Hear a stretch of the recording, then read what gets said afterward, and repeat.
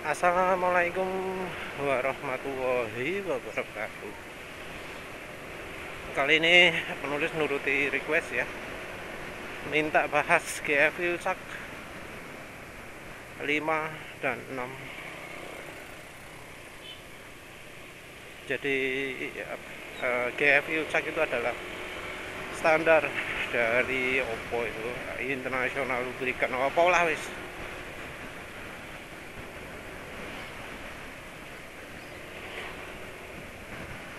jadi uh, Ilsak itu sendiri merupakan standar oli yang sering kali mengeluarkan oli dengan tujuan fuel ekonomi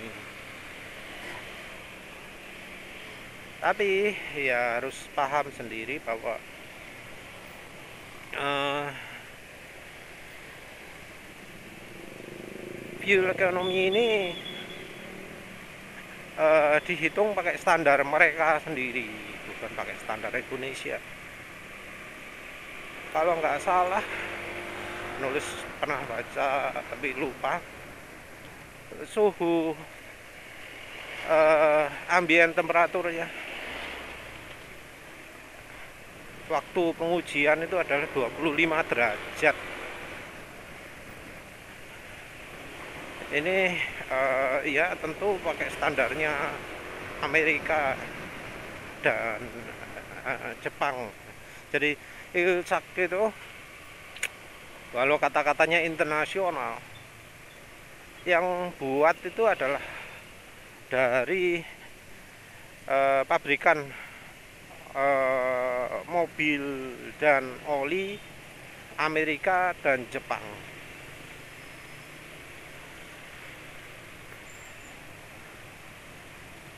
jadi mereka itu berusaha untuk gimana caranya oli itu pakai bisa pakai yang encer. Karena pakai oli yang encer katanya bisa e, meningkatkan fuel ekonomi meningkatkan uh, irit. Ya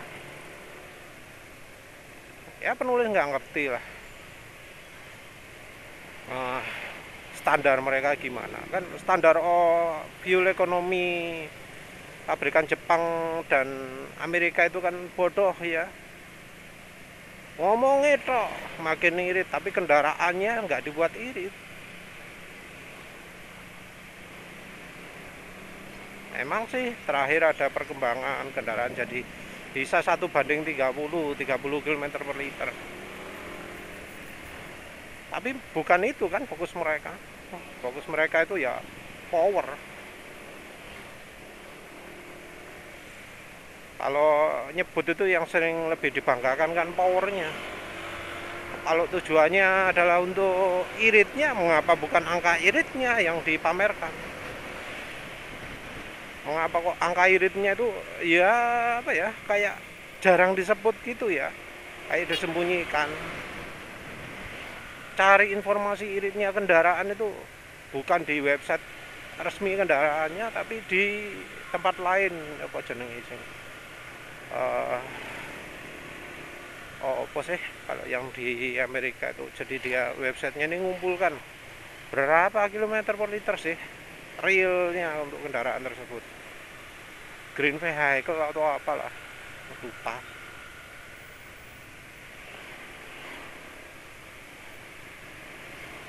Kalau misalnya uh,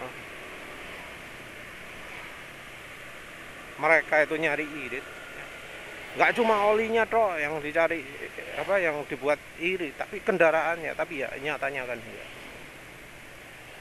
kayak motor apa motor-motor sekarang itu katanya kan dibuat irit. Motor-motor sekarang. PCX 160 ya diakui irit. Tapi realnya gimana? Ada tuh ya eh, penulis lihat pemilik PCX menunjukkan AVG-nya 33 km per liter.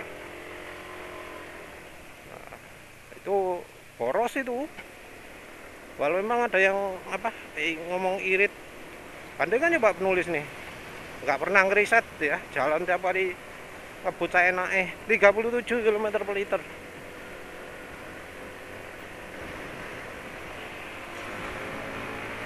jadi 37 km per liter jalan saya naik kok bisa ada pemilik PCX yang sampai 33 karena ya itu.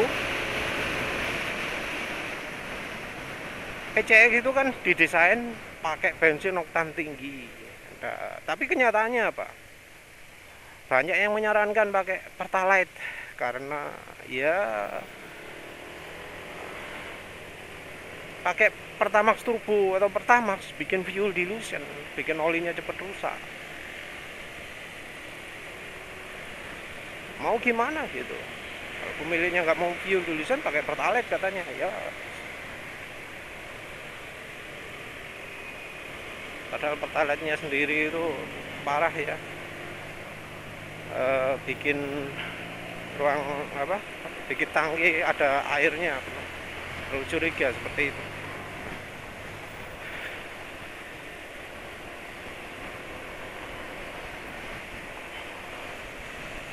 Ya wes lah anggap aja semua bisa pakai oli. Entah berapa sih sebenarnya perbedaan performa pakai oli encer gitu. dari banyak pembaca ya dari banyak apa komen di YouTube juga. Penulis cuma nemu satu kasus di mana mesran SA40 itu merusak performa ada seorang pemirsa yang komen berikutnya makin lambat. Akselerasi jadi 14 detik padahal sebelumnya 13 detik.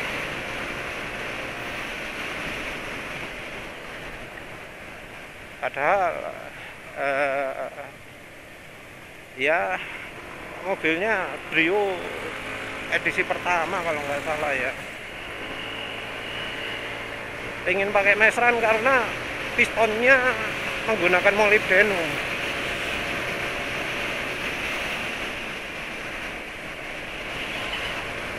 menulis ya nggak nemu juga. Oli apa yang nggak ada molybdenumnya karena ternyata misal kastrol titanium itu ternyata ada molybdenumnya juga. Walau beneran ada titaniumnya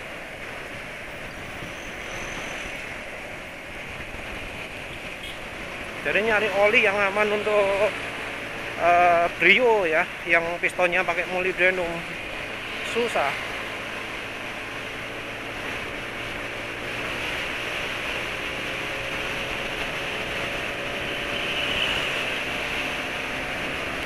Penulis nyarankan apa ya?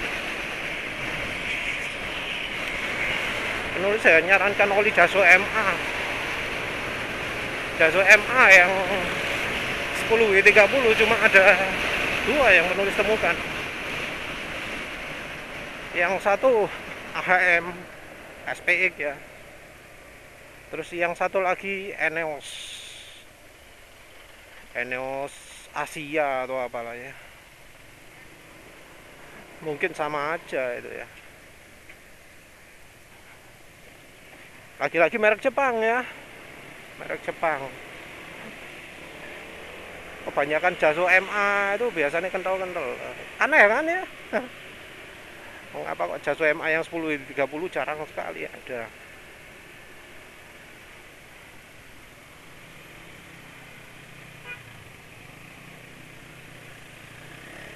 Kalau dia di standar ISO apa sorry jalosnya itu beberapa kok ada. Ada merek Gulf ada merek mobil ada merek uh, apa jenenge? Opo wis? Ah lupa. Itu jaso MA ya. Kalau yang jaso MP banyak yang 10 30 yang jaso MA yang jarang.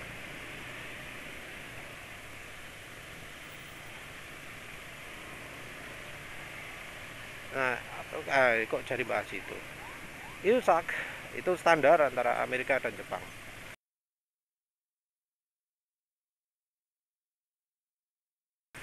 dengan pengukuran suhu yang rendah. Ilsak itu ada kompatibilitas ya. ada yang uh, oh sorry tujuannya dulu ya tujuannya Ilsak GF6 itu muncul terutama untuk memperbaiki dua sifat yaitu uh, dari sisi LSPI dan satu lagi adalah mengurangi aus pada uh, rantai kamprat timing chain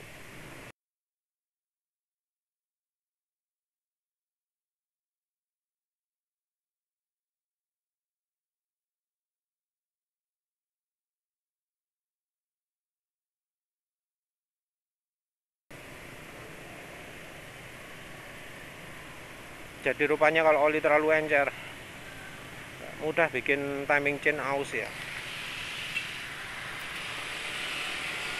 Nah Ilsak GF6 khusus untuk itu. LSPI merupakan temuan baru.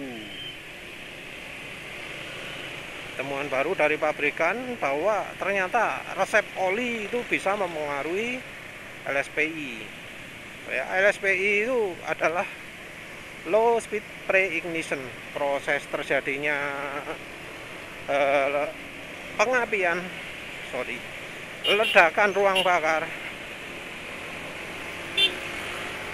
Jadi proses ledakan ruang bakar yang uh, terjadi sebelum businya nyala.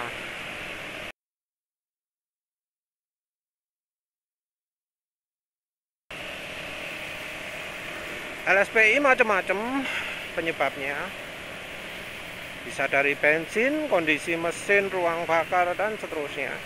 Tapi ternyata juga dipengaruhi oleh oli. Oli eh, bagiannya memengaruhi yang diduga memengaruhi ya, sorry. Itu adalah kalsium. Anus kayaknya pernah nyebut ya. Kalsium itu merupakan aditif yang dipergunakan untuk terutama deterjen. Kandungannya pada oli termasuk sangat banyak. Sangat banyak. Jadi biasanya kalau ada aditif molybdenum itu kandungannya antara 50 eh, 90 paling banyak mungkin 180 kalau yang oli mobil ya kita bicara oli mobil nggak bicara oli motor. Eh, oli motor kan molinya moli mm, murahan ya MOS 2 likui moli MOS 2 itulah kayak gitulah. Kalau yang di mobil kan MOI DTC nggak perlu banyak katanya. Kandungan ppm nya segitu. Terus apa fosfor sama zinc untuk aditif ZDDP nya itu ya sekitar 800an 800 ppm nah untuk deterjen itu biasanya banyak. Kalsiumnya terutama. Ada yang sampai 3000 ppm 3000 ppm itu besar ya 3000 ppm itu kalau dalam persen 0,3 0,3 persen itu dianggap besar.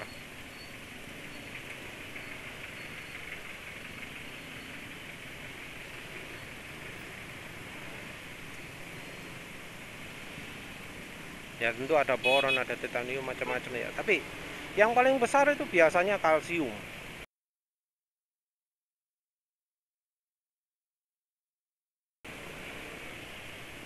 dan uh, ini di banyak oli udah macam-macam oli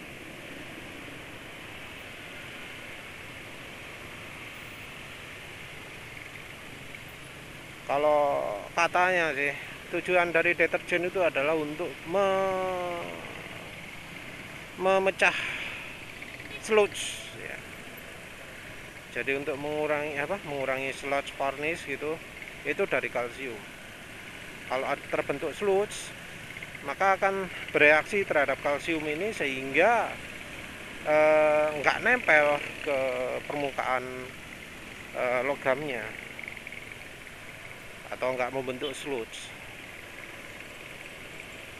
nggak menempel wes berikutnya tergantung pada kemampuan pelarutan bahan oli. Dari solvensinya bahan olinya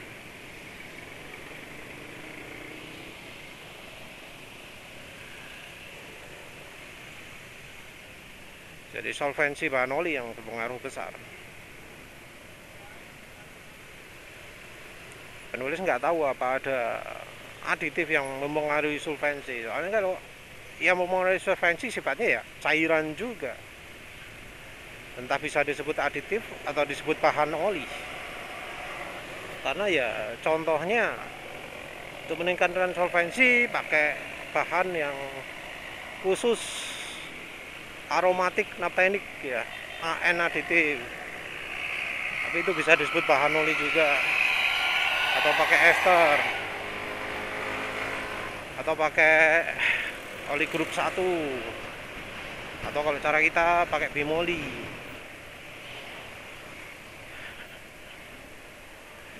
kalsium. Ya sifatnya jadi itu deterjen. Cuma kalsium itu juga akan membentuk e, kerak di e, piston atau di ruang bakar entah bocor lewat mana pokoknya bisa masuk ke ruang bakar. Jadi kerak-kerak itu yang ada di piston itu atau di apa di valve itu mungkin itu eh, ada yang ngomong karena oli.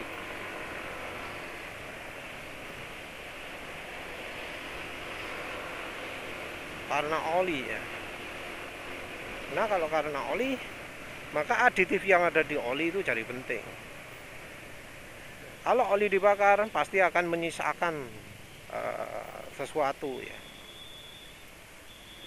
Nah, yang tersisa ini seringnya berasal dari aditif-aditif yang dipakai karena aditifnya itu bukan cairan, nah, tapi padatan. Ada yang nyebut sebagai spas ya, sulfated as, sisa abu. Nah, apa jenenge? Sisa abu dari oli kalau dibakar.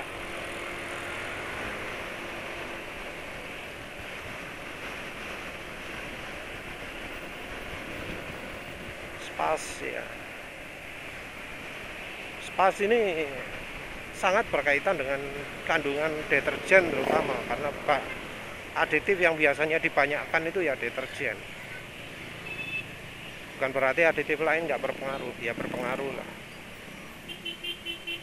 Jadi eh, tapi eh, sorry bukan jadi ya tapi sering kali eh, kandungan spas sorry spasnya suatu oli itu berkaitan dengan TBN nggak semua oli menyebut spas tapi yang menyebut spas biasanya angkanya mengikuti angka TBN nya kalau TBN nya tinggi spasnya tinggi. Itu yang penulis lihat dari hasil mengkoleksi uh, spesifikasi oli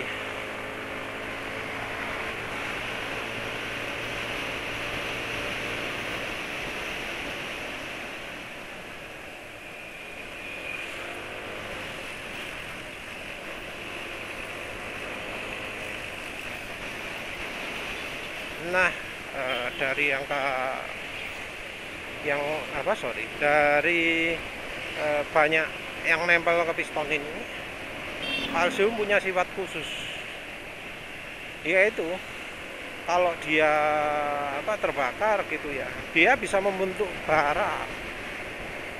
Membentuk percikan bara api When the fuel and oil residue mix, the solution formed becomes liquefied, resulting in a section of honing pattern being left unprotected against wear from the piston rings and creating a liquid which is scraped upwards by the piston as it rises through the compression stroke. As the piston rises, the conditions in the combustion chamber reach a point where the fuel oil solution ignites, creating an unplanned combustion pressure wave, which is the LSPI event. Shortly after, the spark plug ignites the remaining fuel-air mixture, which creates a second combustion shockwave. Where these combustion shockwaves overlap, their amplitudes combine with enough energy to create cracks in pistons, which over time and repeated LSPI events can cause sections of piston to break away completely. On the vehicle can include a loud engine knock through to catastrophic engine damage, as the engine knock can cause cylinder pressure spikes and temperature that ignite prior to spark, resulting in uncontrolled combustion and, in some cases, knock and engine. Nah, ada yang curiga percikan bara ini yang membuat uh, terjadinya ledakan atau pembakaran sebelum uh, businya menyala.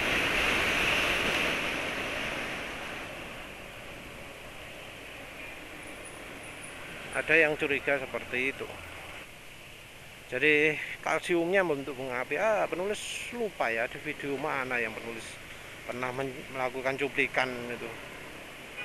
Dilihatkan kalsiumnya itu jadi apa eh, bara api itu lepas dari dinding atau lepas dari piston gitu ya terus membentuk bunga api akhirnya bensinnya kebakar buar gitu.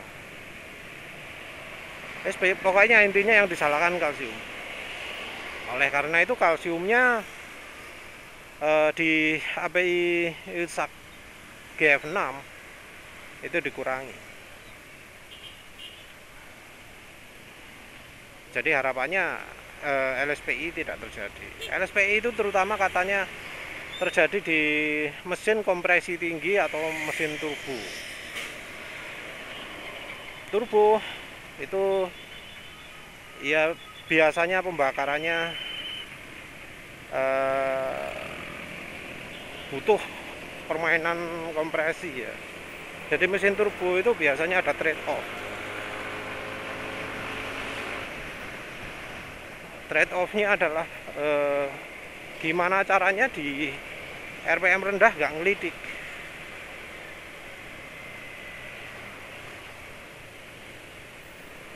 Jadi apa karena turbo tekanannya tinggi kalau kompresinya tinggi biasanya eh, ngelidik ya. Makanya kompresi direndahkan. Nah, turbonya ini kalau di mesin turbo ringan ya kompresinya terpaksa harus diturunkan demi untuk nggak ngelitik gitu.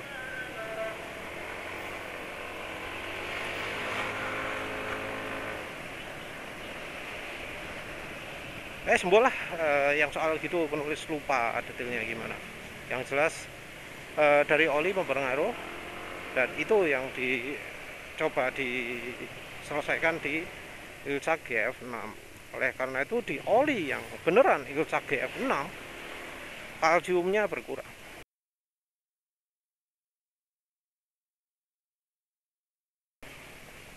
Magnesiumnya ditambah. Tapi entah mengapa ya penulis lihat beberapa kali beberapa spek beberapa VOA oli baru itu eh, kandungan kalsiumnya masih ada nggak betul-betul hilang.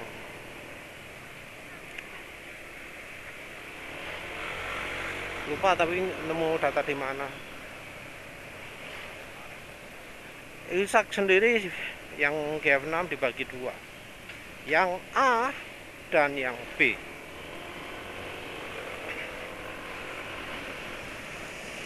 ada dibagi dua begini karena uh, ada tuntutan pada kendaraan juga. Jadi sepertinya eh, kendaraan yang boleh pakai Ilsak GF 6B standar barunya Ilsak itu harus eh, dilengkapi dengan teknologi yang mendukung penggunaan oli yang terlalu encer. Jadi uh, mungkin pakai coating ya teknologi pelapisan. Entah coatingnya model apa karena kalau pakai molybdenum bakal aus. Jadi harusnya ya nggak pakai molybdenum entah pakai apa. Tapi nyatanya kan banyak teknologi coating mesin sekarang pakai molybdenum. Molybdenum sendiri ya termasuk aditif yang agak repot karena e, konflik dengan misalnya ester di ester atau polyolester terutama di ester sih ya. Jadi e, oli nggak bisa banyak-banyak molinya. Kalau pakai ester nggak boleh banyak-banyak esternya. Kalau pakai moli. Padahal ester sendiri diperlukan untuk meningkatkan kemampuan pelarutan dari oli.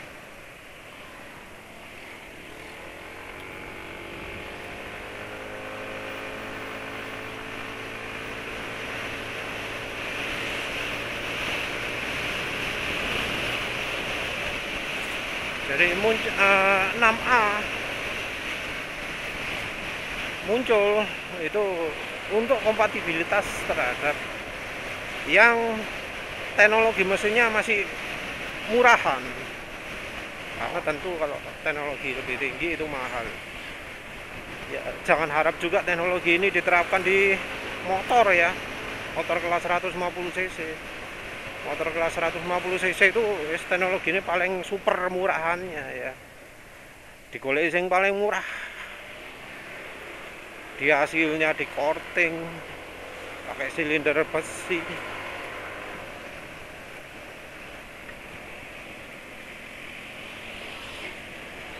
Kalau misalnya di PCX 160 ada yang pernah lo ya menunjukkan gambarnya pistonnya pakai ada molybdenumnya ada hitam-hitamnya. Ah ternyata enggak. Dibongkar oh ternyata enggak ada hitam-hitamnya pistonnya jadi kalau BCI disebut canggih ya. Mesinnya juga nggak pakai teknologi pelapis coating modern.